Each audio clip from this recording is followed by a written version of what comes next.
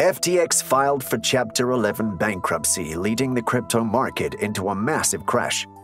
The cryptocurrency market has been hit really hard lately. This week's drop comes after weeks of relative stability for Bitcoin, Ethereum, and other prominent currencies. Bitcoin and Ethereum have since fallen by more than 20% in just this past week or so. The fall was triggered by new investor uncertainty and negative sentiment followed Binance's announcement on November the 9th that it would acquire its rival FTX after fears about FTX's liquidity were raised. However, Binance pulled out of the deal, which resulted in FTX having to file for bankruptcy. So, why is FTX filing for bankruptcy? Is there any way for them to save themselves? And what's going to happen to the investors who are holding their money in FTX Exchange?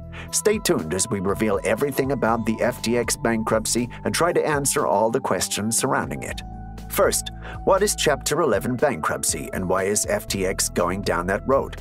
Sam Bankman Fried's crypto empire filed for Chapter 11 bankruptcy in Delaware, confirming the company's fast collapse. According to a tweet, the filings included entities associated with FTX.com, FTX US, and trading firm Alameda Research Limited. A Chapter 11 bankruptcy allows a business to continue operating while it works out a repayment plan with its investors.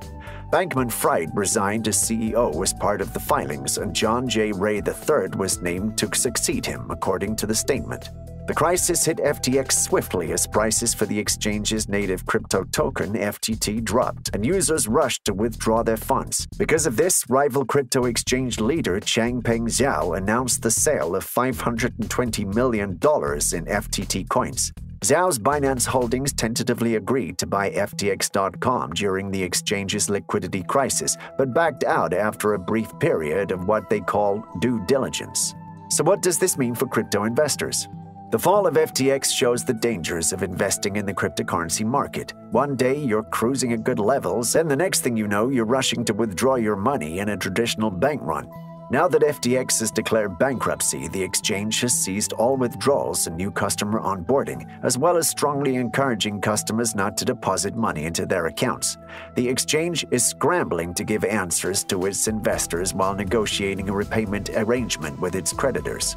What happens to investors in the case of a company's bankruptcy is normally governed by its terms of service and user agreement, but neither of FTX's agreements mentioned this potential occurrence. Furthermore, crypto is not covered by the federal government through FDIC insurance, and FTX's insurance coverage, like many other exchanges, only covers certain crime events, such as theft and fraud.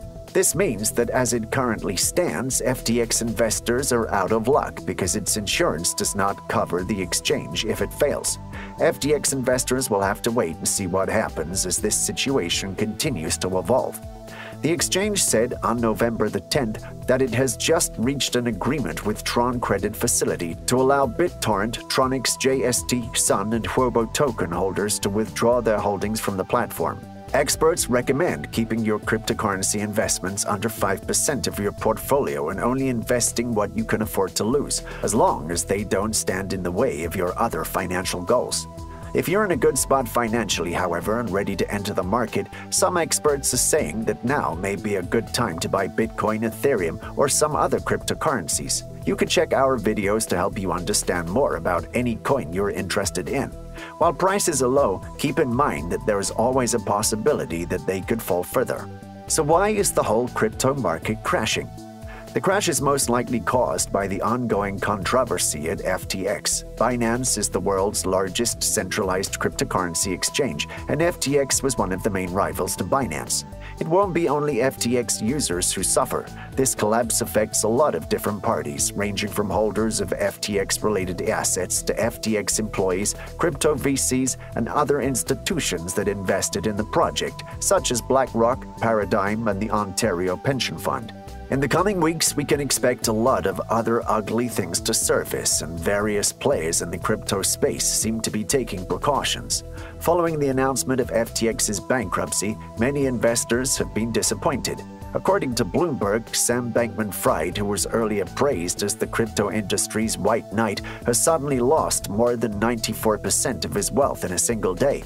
Investors are already concerned about the regulator's reactions. The SEC will reportedly expand its investigation into FTX, focusing on potential securities law violations, according to the Wall Street Journal. The sudden crash of one of the world's largest and fastest growing cryptocurrency exchanges within days when little to no red flags indicated that would impact the crypto market more when it's already a damaged market after a year of economic crisis. US exchanges are subject to more regulation and have higher requirements than international exchanges, but recent events might cause even more regulatory scrutiny.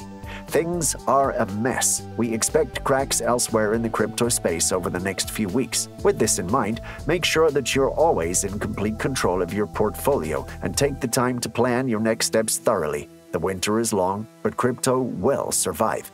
Thanks for watching. If you enjoyed this video or learned something new, don't forget to hit that like button and subscribe to be the first to watch the following videos for more crypto, Web3, NFT, blockchain updates and news.